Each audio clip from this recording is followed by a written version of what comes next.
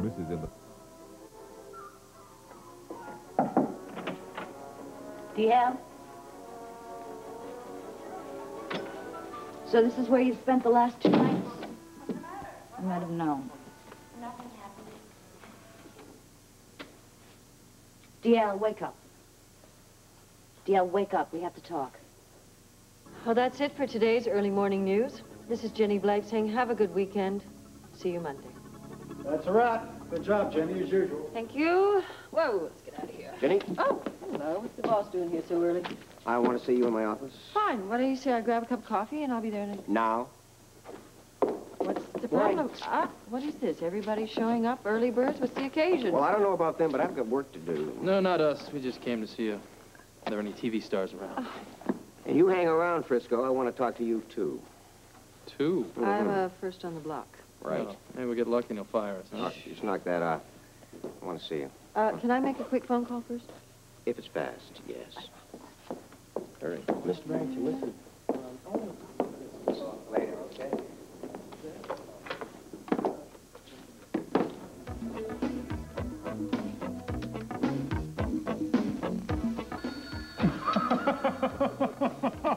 You idiot, I wish it was that simple. Scorpio. The Venture is on its way to Port Charles.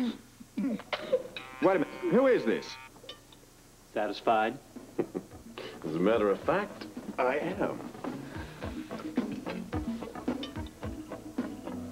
What was that all about?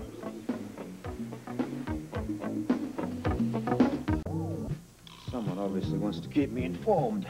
Who? They didn't identify themselves. What did he say? A cryptic message, to the effect that the Venture was on its way to Port Charles. The Venture? What's that? It's a ship belonging to the WSB. A very special ship. Why are they bringing it here? They aren't. I don't understand. Do you mean to say it's been stolen? What a novel idea. Stealing a ship. Wonder why I never thought of it. I mean, not that I'd ever do such a thing, mind you, but still, it's an intriguing concept. Oh, don't be silly, Algernon. You could be right. You see? You haven't a clue what you're talking about. Well, I know enough not to insult my house guests, especially ones who happen to be relatives. What makes you an authority on thefts on the high seas? all I never sudden? said I was an authority. I'm merely making a logical assumption based Logical? upon... You haven't got a logical bone in your body. Why are you picking on me like this all the time? I mean, that's all you do lately. Your own husband just admitted that I could be right, didn't you? I don't know. But I intend to find out more information about the Venture. But it could have been stolen. I think you owe me an apology. How about if I just leave you alone? Nothing could suit me better. Well, fine. All right, then. You can fend for yourself today. What do you mean? I mean, you'll be on your own. That's what you wanted, wasn't it? Well, no. Uh, well, yes, but... Uh, well, I want to be left alone, but I don't want to be left alone. Well, you'll be both. Why? Where are you going? I have a date with Sean. I'm going to show him the city. Oh, splendid. I'd love to see Port Charles. I shall accompany you. No, no, you shan't. I'll be perfectly all right. Donely can protect me. It's much too dangerous. And anyway, I want to have Sean all to myself. I'm sick and tired of being cooped up in here. Well, I'm sick and tired of you complaining. And I am sick and tired of listening to the both of you, so put a lid on it, huh? What are you going to do?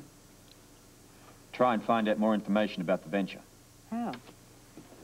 First, I'm going to call the WSB. Then I want to have a word with Donely. I wish Luke was here right now, too. Who's Luke? Come on now. You're just like Luke. He used to try to fake being a slave, too, and it never worked. Now, come on, wake up. I want to talk to you. Yeah, I haven't got all day. I want to go to the hospital.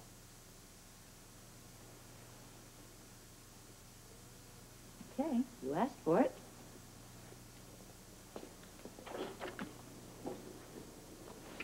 Oh, well, what? What is this? What, are you crazy? We need to talk. Look, I don't want to talk to you. Forget it. You're out of your mind. What the hell? is- You okay, Mr. Brock? He's no. fine. No. Hi, Mrs. Brock. What's going on? It sounded like your husband was hurt.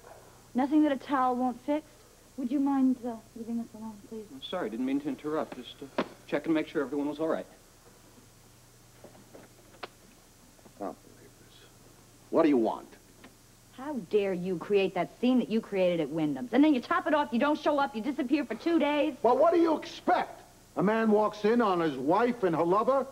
Huh? I'm supposed to pretend that nothing happened? Come on, you make it sound like you caught us in bed. Well, it's close enough. Are you out of your mind? I just happened to run into Rick at Wyndham's department store. Oh, sure. And where else did you just happen to run into Rick, huh? I happened to be there trying to get your jacket for the press conference. Oh, sure, a likely story, huh? You, you, you'd say anything now. It's the truth. Oh, and you just happened to ask your boyfriend along to help you pick out the right color. Huh? I'm trying to reason with you, and all you're giving me back are snide remarks. Don't you think it's a little late for reasoning? Considering the fact that you have already threatened to kill me?